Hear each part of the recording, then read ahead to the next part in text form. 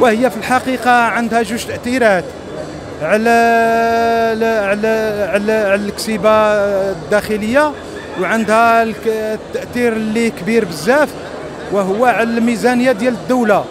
خاص نسخروا نسخروا هذيك الميزانية ديال الدولة باش نستوردوا هذيك الأغنام.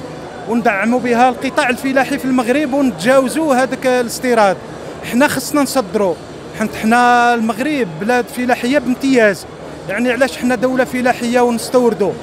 يعني هذا الشيء أنا ربما لما نقدرش ربما نقدر نكون خاطئ. ربما هذا الشيء راجع لسوء تسيير القطاع الفلاحي في المغرب من طرف آه، وزارة الفلاحة. ربما نقدر نكون خاطئ ربما نقدر نكون صائب. إيوا أنا ك ك كفلاح وكنتمي لدولة فلاحية أنا يكون عندي فخر أنني نصدر ما نستوردش. فلاح خصني كاع المسائل اللي كتعلق ب بالمنتوجات الفلاحية خصنا نصدروها إحنا.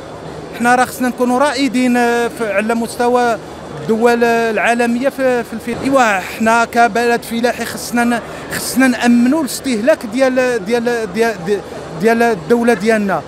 ماشي نستوردوا إلا كنا دولة فلاحية خصنا يكون عندنا الاكتفاء الذاتي ونصدروا يعني ماشي غير المنطقة اللي كنتمي لها أنا. كاينة مناطق في المغرب بحال بني مسكين بحال آه، المنطقة اللي كنمثل أنا بحال آه، المنطقة ديال الزمران. كاع المنطقات اللي هي آه، سخونة كيتلائم فيها السردي من من من كتسمى من مهد سلالة السردي.